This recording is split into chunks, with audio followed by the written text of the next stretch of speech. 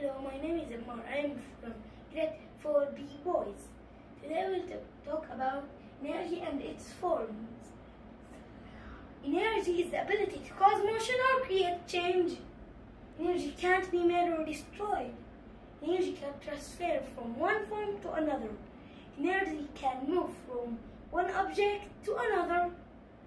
Energy can exist many forms.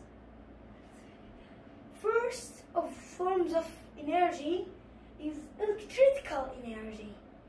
It is the the move is it is the energy of movement of electrically charged particles that if electrically charged particles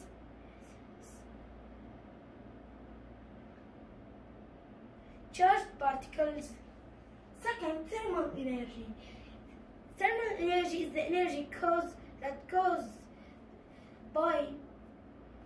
moving particles that make up matter. Third sound energy.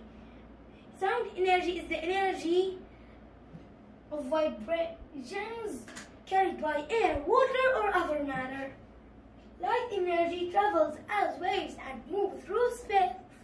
Kinetic energy is the energy of motion and kinetic energy depends on depends on speed potential energy is the energy stored in an object. There are three forms of energy gravitational energy chemical energy